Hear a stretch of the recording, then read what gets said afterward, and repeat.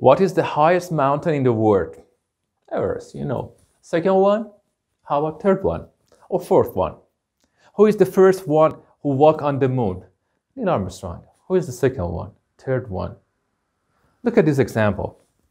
Uh, Amelia Earhart was the third, third person who flew over the Atlantic Ocean. But we know, we remember her, but she was the third one because she was the first woman who has done it. So again, she has the first position in our mind.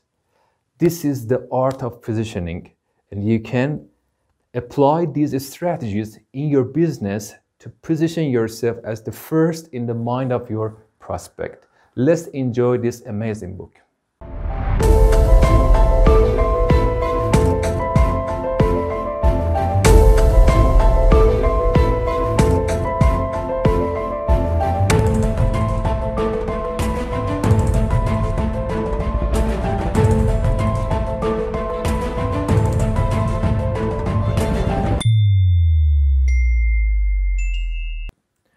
Welcome back to Gist of Marketing. Nowadays, there are thousands of brands, names, information, channels. Oh my God, you know that. It's not necessary to mention. And among all this information, our mind capacity is not unlimited, it is limited.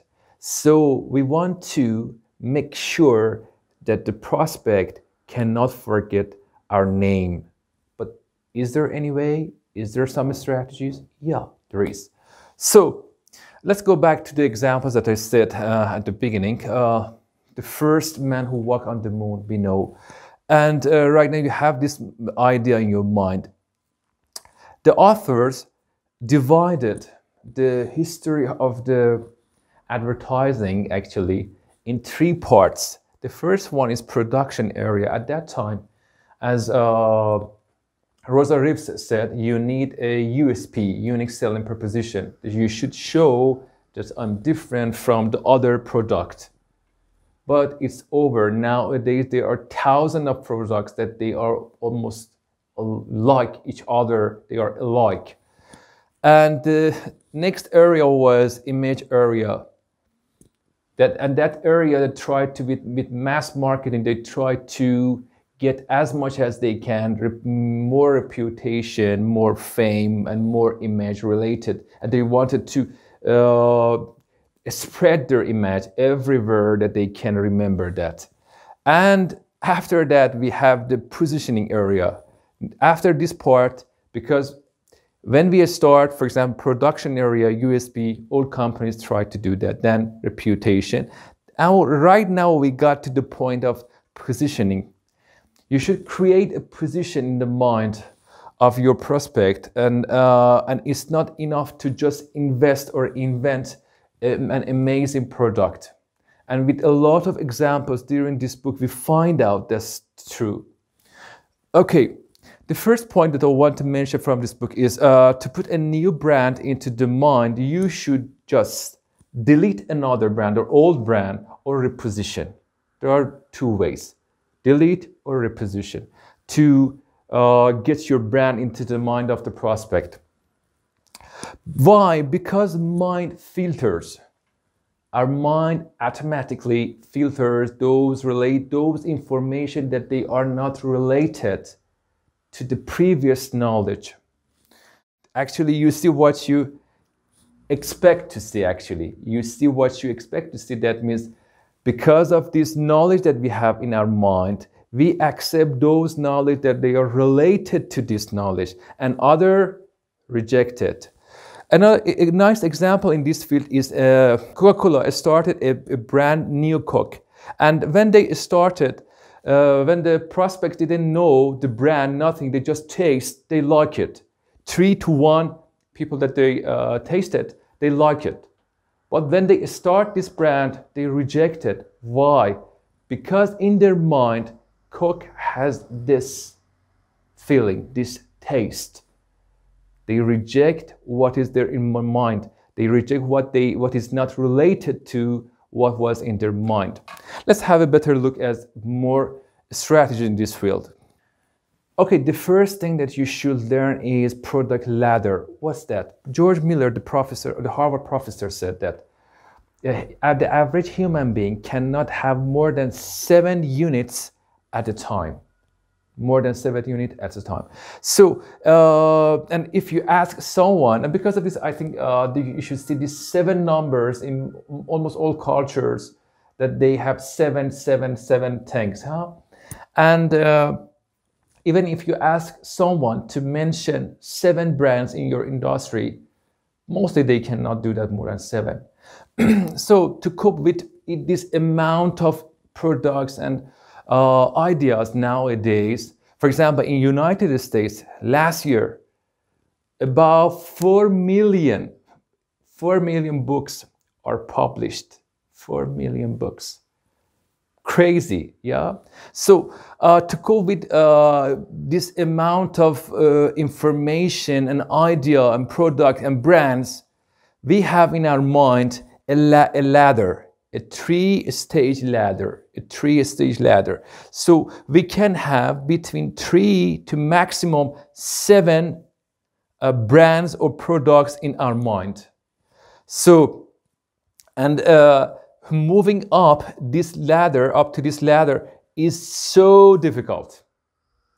And we, and we consider some example that this shows that how much is difficult if you want to get the first place in your industry and move up this ladder.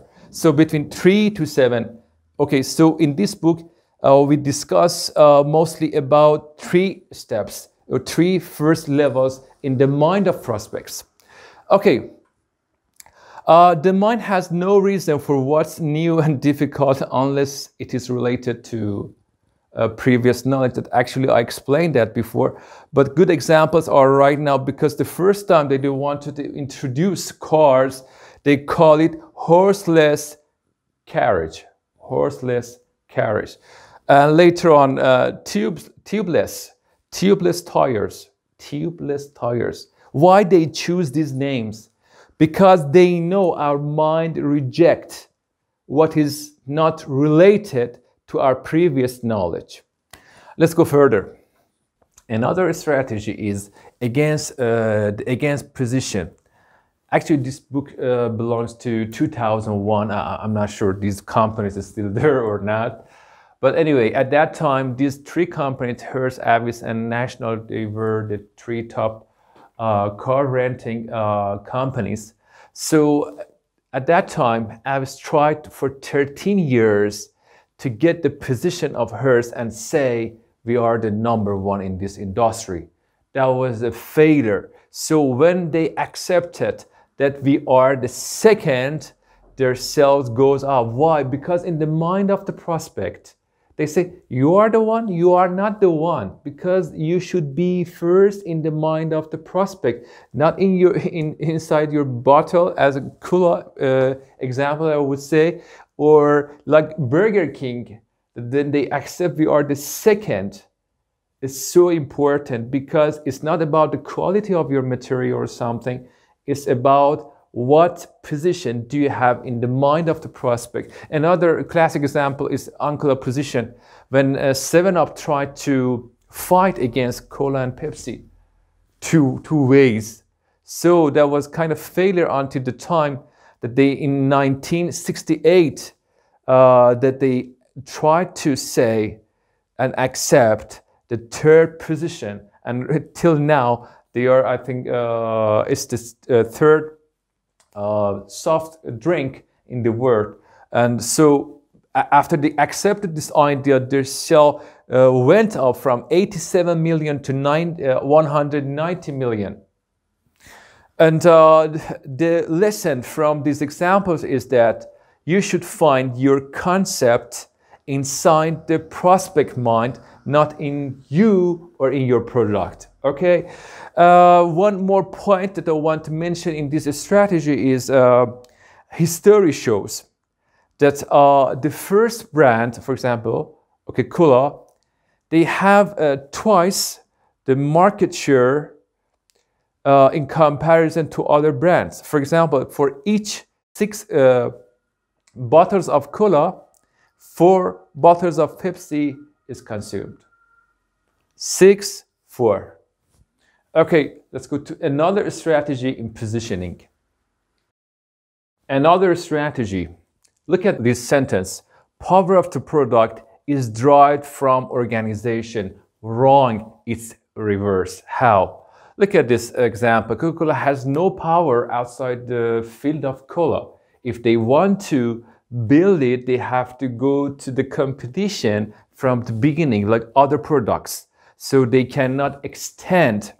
A good example of this is a Toyota that when they introduced Lexus, Lexus is a good positioning uh, example. They didn't say it's Toyota Ultra, it's Toyota Plus, it's Super Toyota. They say this is Lexus, something else. And they build the brand, they build the position in the minds of prospects.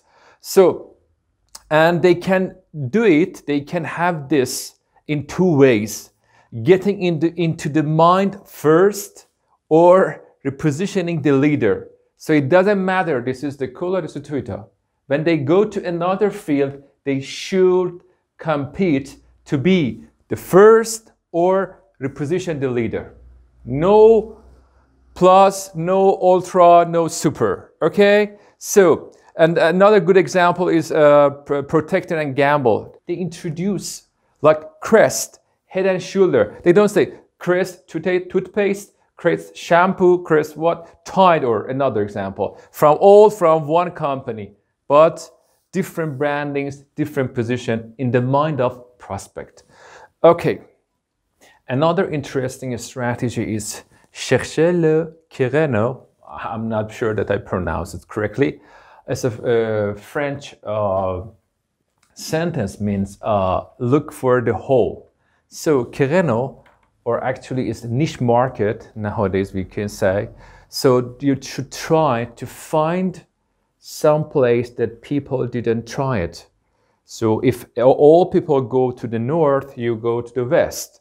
Kind of philosophy like this. So the first uh, is the size créneau that is like Volkswagen at that time did. At the time that all cars were big, they positioned themselves as a small think small. That was the first, uh, the, the, successful uh, first campaign of the car that Beetle that they introduced that uh, car named Beetle at that time, and uh, my generation don't remember that. Okay, the next one is the high price Créneau. The high price Créneau is uh, when you try to when you try to introduce yourself as a high price in your market it doesn't matter, it can be a popcorn or beer, but you should have a strong reason why you have this high price, okay? Not without any reason, just put a high price on your product. So, and, uh, and in your ads, do not forget the point uh, that in your ads, you should work on this idea of high price that when the customers go to the shop, he wouldn't be surprised even the uh, shop owner, they want to uh, distribute your uh, product, he, he, or she shouldn't uh, be surprised because of your price. On your advertisement, they saw that you justified that. Okay, so the next one is low price Créneau. That's uh, simple. And other effective Créneaux are age. For example, you just can focus on old, young, teenagers, Sex, like Marlboro, just focus on men. Next one is distribution, the area that you want to distribute. And the next one is heavy user position. Some people, they are like heavy smokers or heavy drinker. You should just focus on them and try to position yourself this way. Okay, let's go to the next point. Before I move further, I want to right now summarize a little bit, then we can go further. Okay, the first, we, we till now we got this point that product is made in a factory and a brand is made in mind. Okay, not in what is in, in the bottle. Okay, what is in mind of the in the mind of the prospect. Okay, so uh, about positioning a strategy, I mentioned a few and a few more later on. And but before I go further, I want to say about the first step is name. because I, I have a video uh, about uh, by the name of Hello. It's one of the best books in uh, finding the right name for your product or for domain name. So I didn't mention anything here. So you, you can you can just watch that video and learn what you need for finding the right name. Okay, more another point is two traps that uh, people uh, got into is technology. In uh, long time back, uh, a company introduced 880 uh, white whiskey. But come on, whiskey in the mind of the prospect is brown. White whiskey, white whiskey has already a name. The name was vodka, gin, and others. And another trap is everyone. You cannot, you cannot uh, do something that everyone likes. It's, it's not possible. Okay? So you should be aware of that. Okay, another point. Another positioning uh, strategy is repositioning. How it works, or we can say creating your own uh, Créneau. When you want to introduce your product, you should move out the previous one in the mind of prospect. One of the good uh, ways is conflict, as uh, Stolichnia or Stolichnaya uh, started that, that they said okay, Smirnoff is not a Russian vodka. The only vodka that is made in Russia is this one. So they changed in the mind of prospect a vodka that is made in Russia actually with uh, something that is made in another country. I think Smirnoff is, is made in UK. So and uh, so it's not about comparing, it's about repositioning. You reposition the way that they think about, for example, this, this example about the uh, Russian vodka.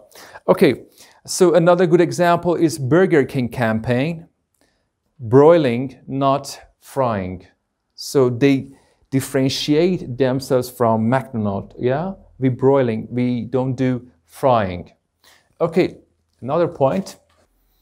Okay, another interesting point is the mind works by ears not I. What does it mean? When uh, Volkswagen introduced Beetle to the market, it was verbal. Think small. Look at the campaign on the internet. You can find the picture. So every successful position program was verbally oriented. Okay, another important uh, issue is uh, anonymity is a resource, especially in the world of politics you are familiar. When there is a new face, there's a new energy, there's a new, uh, uh it seems so attractive to people because these old politicians, people have the record of this person. So it's not easy, you know, to position that person in the mind of the prospect. So anonymity is a resource and you can beat somebody with nobody. Okay, very important, absolutely important. Uh, next point is the line extension trap is so contra controversial nowadays, till now even. Uh, companies try to extend their product, especially, for example, if you're familiar with cigarettes, they try ultra, you know, blue, light, brown, different, uh, different products with the same brand, with the same position. But why they do that? Because it's easy to sell. When they start, they sell because it's related to the position of uh, the position that they made already in the mind of the prospect. But in the long run, is a disaster. Why? Because it doesn't have an independent position in the mind of prospect. How we can prove that? Two simple uh, tests. Let's see. Okay, the two tests that you can find that they don't have uh, independent position in the mind of the prospects. The first one is shopping list. When you have a shopping list and you go to buy, and when you say Crest, for example, okay, Crest shampoo, Crest toothpaste, Crest, just Crest, huh? When when when uh, when it has single position, independent, is different from the situation. So it makes it easier for prospects to remember and to know this brand. And another one is bartender test. When you want to buy, they say, okay, uh, for example, cigarette, huh? red or blue? or blue on uh, ultra or I don't know, normal one. It's all the time the questions. When they say this way, that means it doesn't have an independent position in the mind of prospect. It depends on another one. Okay, so it works.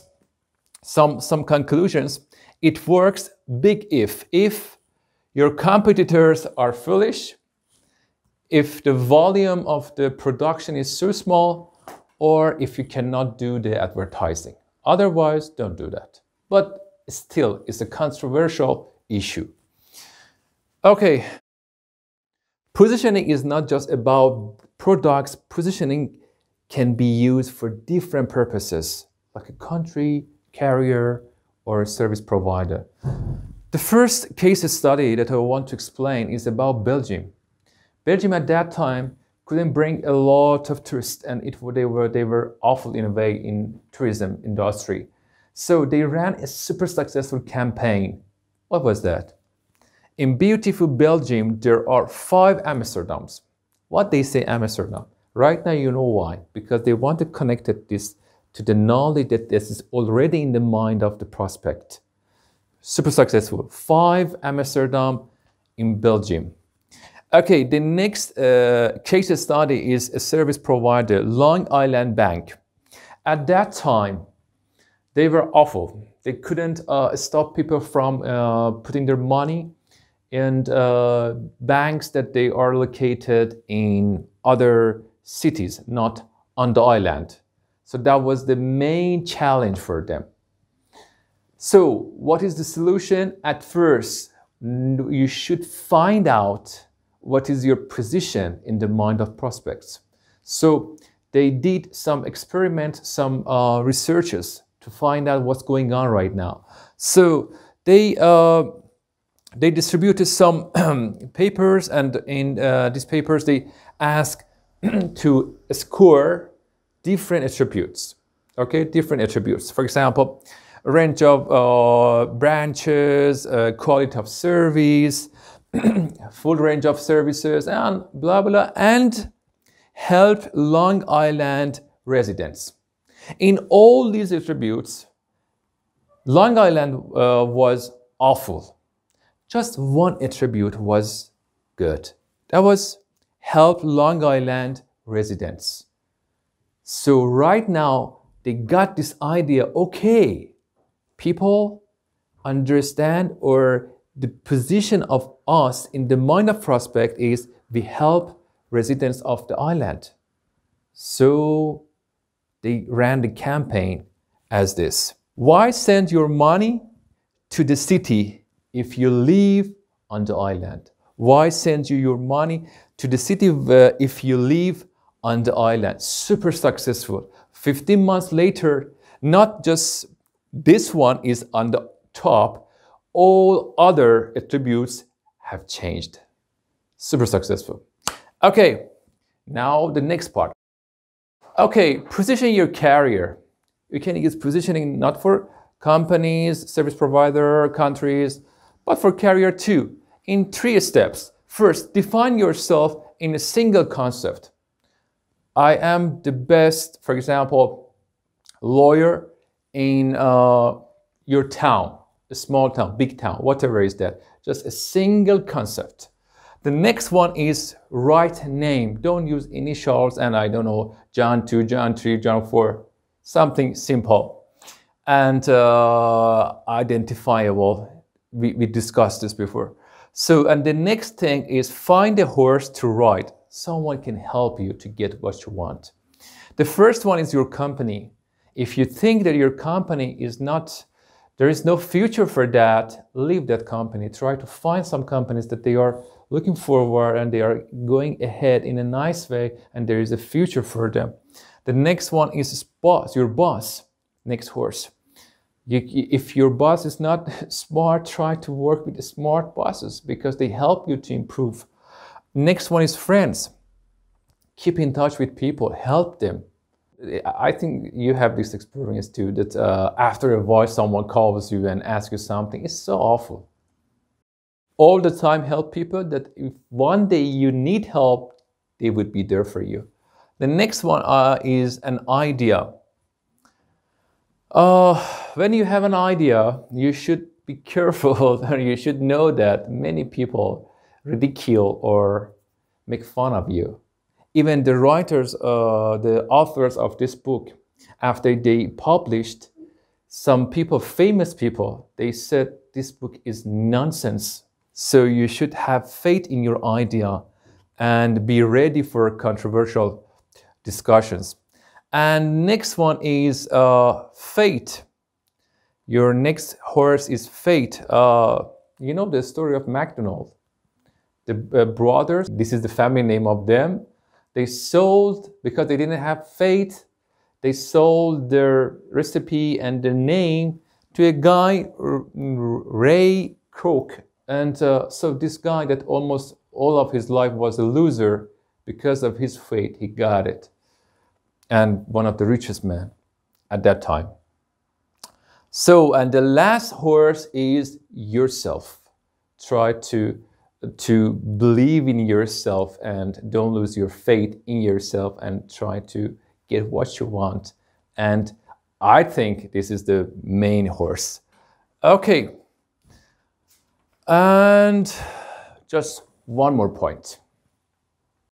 Okay, the last part, six steps to success. Okay, the first step is what position do you own? What is the situation right now for you? What is the position that you have in the mind of the prospect? You should find it out. So search, do some research and ask and try to find out like the Long Island Bank, okay? So the next step is what position do you want to own? Okay, what position do you want to own in the mind of this prospect? So you have to think about it. The next step is who must you outgun? Uh, let me explain this part with an example. For example, in football, uh, it's so simple. You have to carry the ball from here to the end and one score. But from your perspective, yeah? But is it that way? No. You have to encounter 11 people. And you have to go through all these people, then score. So you have to consider from the competitor's perspective too and have some strategy for that. Okay, then it's the best way is to be a specialist, to narrow down your market, the, the, your niche that you can uh, handle the situation easier. So the next one is, do you have enough money? Especially for this part, I said you have to narrow down your target because it needs money it's not easy to you know be on the top of the mind because nowadays there are so many advertising so many messages. So and you have to if you want to be at the top you have to spend a lot. So it's not easy. Then narrow down. And next one is can you stick out? When we want to talk about stick out we have to consider that Nowadays in society, we are experiencing rapid change, so fast, so crazy. So how we can cope with this change? Simple, two things. First, you have to think about a long range point of view and determine it and stick to that. Have the long way strategy stick to that and don't change easily. Yeah? To be able to survive in this situation that is with all these changes around you. Next part is do you match your position? Mostly people that they want to be creative have problem with position because positioning uh, restricts your creativity. For example, if if you if you position yourself as a kind of personality that it needs to wear uh, a tie, not a t-shirt. So you have to wear your clothes according to your position. What position that you have in the mind of the prospect. Okay? So it's it must be subordinated to positioning. Okay, thank you so much for watching. Uh, this is one of the classic books of marketing, and I hope you enjoyed it. I tried my best to give you the most important parts of this book. Thank you so much. Take care and bye.